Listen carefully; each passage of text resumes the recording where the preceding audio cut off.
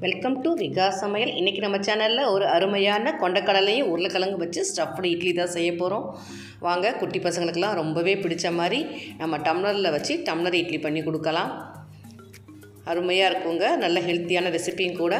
இரநூறு கிராம் கொண்டக்கடலை எடுத்து ஏழுலேருந்து எட்டு மணி நேரம் நல்லா ஊற வச்சுட்டு ஒரு இரநூறு கிராம் உருளைக்கிழங்கு சேர்த்து நம்ம வேக வச்சு எடுத்துக்கலாம். ஒரு கால் டீஸ்பூன் உப்பு சேர்த்துக்கோங்க.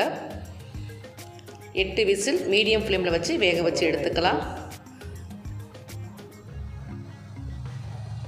இந்த மாதிரி கொண்டக்கடலை எடுத்து தண்ணி இல்லாமல் எடுத்து வச்சுக்கோங்க. இந்த கொண்டக்கடலை வந்து எங்களோட குட்டி பாப்பா சாப்பிட போகிறாங்க அதுக்காக சின்ன கிண்ணத்தில் எடுத்து வைக்கிறேன். வெந்த உருளைக்கிழங்க தோல் உரிச்சிட்டு நல்லாவே மசிச்சுக்கலாம்.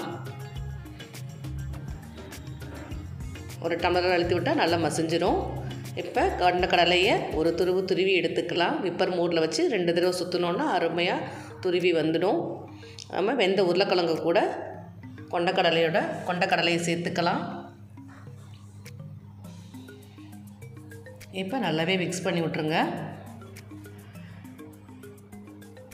ரெண்டு டீஸ்பூன் எண்ணெய் விட்டுருக்கேன். கால் டீஸ்பூன் சோம்பு தாளிச்சுக்கலாம். ஒரு மூணு பல் பூண்டு சின்ன துண்டு இஞ்சி இடித்து போட்டுக்கிறேன். இஞ்சி பூண்டு பேஸ்ட்டு போடுறதுக்கு பதில் இடிச்சிட்டு சேர்த்துக்கோங்க. ரொம்பவே வாசனையாக இருக்கும்.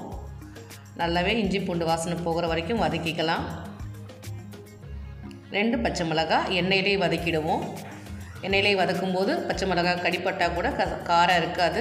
ரெண்டு பெரிய வெங்காயம் பொடியாக கட் பண்ணி சேர்த்துருக்குறேன். அதையும் நல்லாவே வதக்கிக்கலாம். முக்கால் டீஸ்பூன் காஷ்மீரி சில்லி சேர்த்துருக்குறேன். கால் டீஸ்பூன் மஞ்சள் பொடி சேர்த்துக்கலாம். நல்லா வதக்கி விட்டுருங்க. அரை டீஸ்பூன் கரம் மசாலா சேர்த்துக்கலாம். கொஞ்சமாக கசூரி மேத்தி நல்லா கையில் க்ரஷ் பண்ணிவிட்டு சேர்த்துக்கோங்க. நல்லா வாசனையாக இருக்குங்க. நல்லாவே பச்சை வாசனை போகிற வரைக்கும் வதக்கிக்குவோம். மசாலாவுக்கு தேவையான உப்பு சேர்த்துக்கலாம். ஏற்கனவே இட்லி மாவில் கூட உப்பு இருக்குது அதனால் பார்த்து சேர்த்துக்கோங்க. மசாலா நல்லாவே வதங்கிடுச்சு. இப்போ மசித்த உருளைக்கிழங்கையும் கொண்டக்கடலையும் நம்ம பேனில் சேர்த்துருவோம். நல்லாவே வதக்கி விட்டுருங்க. நல்லா எல்லாமும் மிக்ஸ் ஆகணும். உப்பு காரம் மஞ்சள் தூள் எல்லாமே மிக்ஸ் ஆகணும். அந்தளவுக்கு வதக்கிக்கலாம். அடுப்பை மீடியம் ஃப்ளேம்லேயே வச்சு வதக்கிக்கோங்க.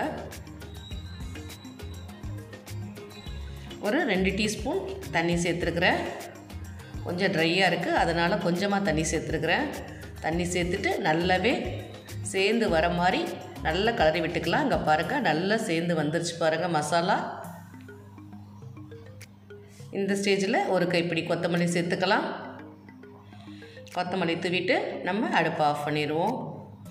சூப்பராக இருக்குங்க. கம கமன்னு இருக்குது ஸ்டஃப்டு இட்லிக்கு ஜம்முன்னு இருக்கும். ட்ரை பண்ணி பாருங்கள் குட்டி பசங்களுக்கெல்லாம் ரொம்பவே பிடிக்கும். பெரியவங்களும் சாப்பிட்லாம். நம்ம ஒரு பெரிய பாத்திரத்தில் எடுத்து ஆற வச்சுருவோம். கொஞ்சம் ஆறின ஒன்று தான் நம்ம உருண்டை பிடிக்கணும். அதனால் ஒரு அகலமான பாத்திரத்தில் மசாலா சேர்த்துட்டேன். இந்த மாதிரி ஒரு கைப்பிடி ஒரு உருண்டை எடுத்துக்கலாம். இந்த மாதிரி சிலிண்டர் ஷேப்பில் நம்ம உருட்டிக்கலாம்.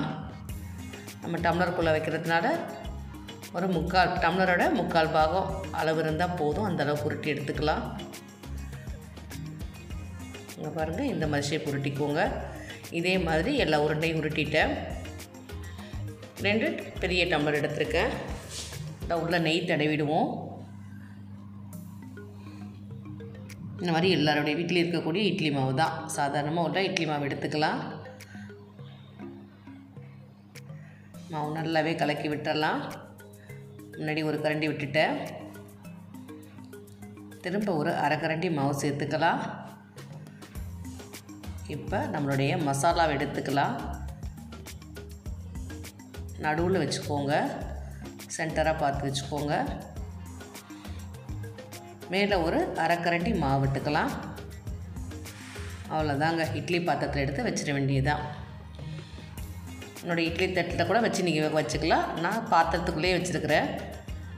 இன்னொரு இன்னொரு டம்ளர்லேயும் நம்ம மாவு விட்டுக்கலாம் ஒன்றரை கரண்டி மாவு விட்டுட்டேன். நடுவில் இந்த ஸ்டஃபிங் எடுத்து வச்சுக்கலாம். சென்டர் பார்த்து வச்சுக்கோங்க. மேலே அரை கரண்டி மாவு விட்டுறலாம். ஒரு பதினஞ்சு நிமிஷம் நல்லாவே வேகட்டும். நல்லா வேகணும் மாவு. அதுக்காக ஒரு பதினஞ்சு பதினஞ்சு நிமிஷம் டைம் எடுத்துக்கலாம். மூடி போட்டு மூடிடலாம். பதினஞ்சு நிமிஷம் ஆயிடுச்சுங்க. இப்போ நம்ம ஓப்பன் பண்ணி பார்க்கலாம். வா நம்ம இட்லி ரொம்பவே சூப்பராக வெந்திருக்கு. நம்ம எடுத்து ஆற வைக்க வேண்டியது தான் இந்த மாதிரி ஒரு பிளேட்டில் எடுத்துகிட்டு ஆற வச்சிடலாம். நல்லாவே ஆறணுங்க. ஆறினா தான் இட்லி வெளியில் வரும். நம்ம இட்லி பானையில் கூட இட்லி துளி இட்லி குழியில் கூட இட்லி ஊற்றி இந்த மாதிரி ஸ்டஃபிங்கை நடுவில் வச்சுக்கலாம். வச்சு கூட நம்ம இட்லி ஊற்றிக்கலாம் அதுவும் நல்லாயிருக்கும் ஒரு கத்தியை வச்சு தண்ணியில் தொட்டு தொட்டு கத்தியால் சுற்றி எடுத்திங்கன்னா நம்மளுடைய இட்லி அழகாக வெளியே வந்துடும் நல்லா ஆறின உடனே எடுங்க. பாருங்கள் அழகாக வந்துருச்சு பாருங்கள்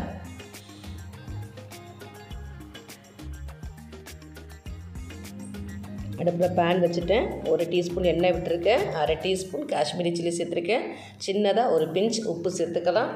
கொஞ்சமாக கொத்தமல்லி தூவி கொத்தமல்லி தலை துவிக்கலாம்.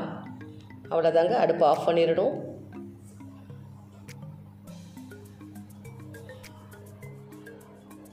இப்போ நம்மளுடைய இட்லியை இந்த மாதிரி எண்ணெயில் போட்டு ஒரு தடவை பிரட்டி எடுத்துக்கலாம். இது மேலவும் எண்ணெயும் காரமும் சேர்ந்து இருக்கும். இன்னும் சாப்பிட்றதுக்கு ரொம்பவே சூப்பராக இருக்குங்க. இங்கே பாருங்கள் எல்லா பக்கமும் ஒரு தடவை பிரட்டி விட்டுறலாம். ரொம்பவே சூடாக இருக்குது அடுப்பு ஆஃப் பண்ணிட்டேன். மிளகாத்தூள் ரொம்ப பொரியக்கூடாது. அவ்வளோதாங்க நம்மளுடைய மசாலா கார இட்லி அருமையாக ரெடி ஆயிடுச்சுங்க. இப்போ நான் ஒரு இட்லி கட் பண்ணி காமிக்கிறேன் பாருங்கள் நல்ல ஸ்டஃபிங்கோட இட்லி சும்மா சூப்பராக இருக்குங்க. இது நம்ம எதுவுமே தொட்டுக்க தேவை கிடையாது. சட்னி கூட தேவை கிடையாது. நம்மளுடைய டொமேட்டோ கெச்சப்போட ஜம்முன்னு இருக்கும். இந்த வீடியோ உங்களுக்கு பிடிச்சிருந்தா லைக் பண்ணுங்கள் ஷேர் பண்ணுங்கள் கமெண்ட் பண்ணுங்கள் மறக்காமல் விகாசம் இதை சப்ஸ்கிரைப் பண்ணிக்கோங்க. தேங்க்யூ